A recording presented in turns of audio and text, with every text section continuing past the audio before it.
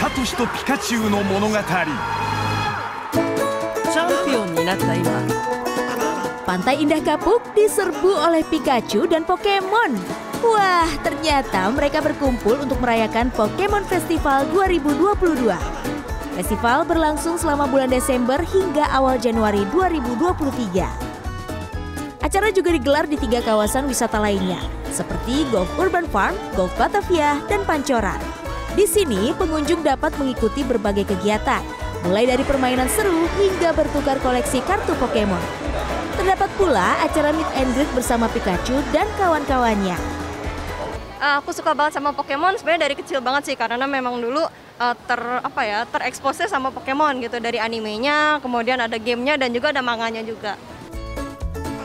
Acara sebelumnya dibuka oleh Menteri Pariwisata dan Ekonomi Kreatif Sandiaga Uno. Ia pun menilai perkembangan industri permainan terus tumbuh dan berkontribusi pada pendapatan negara.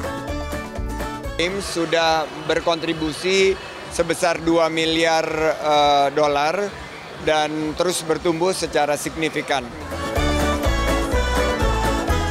Muncul pada tahun 1996, Pokemon menjelma menjadi budaya pop yang bertahan lebih dari seperempat abad. Pokemon pun diadaptasi mulai dari game, komik, kartu, hingga film layar lebar.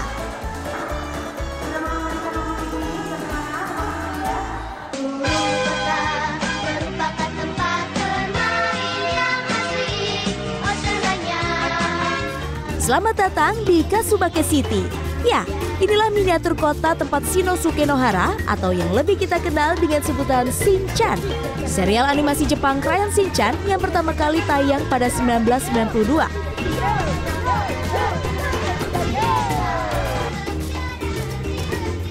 Dalam rangka merayakan penayangan serial Crayon Shinchan yang ke-30 tahun, Animation International Indonesia selaku pemegang lisensi Shinchan menggandeng kreator komik lokal Tahila Lats untuk berkolaborasi dalam pameran berjudul Welcome to Kasubake City.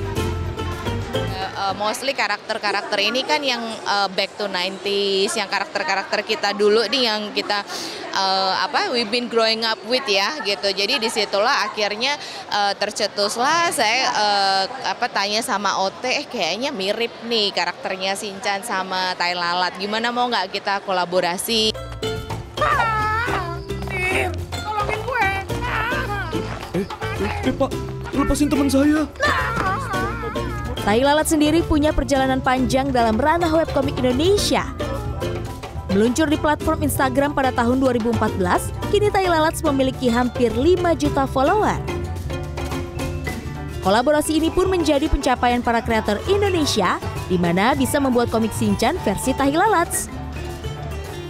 Pameran digelar di salah satu pusat perbelanjaan di Jakarta dan akan berlangsung hingga 15 Januari 2023. Pameran juga menyediakan booth foto, makan, hingga souvenir.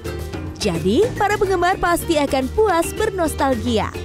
Rencananya, acara serupa akan digelar di beberapa kota di Indonesia. Tim Liputan CNN Indonesia.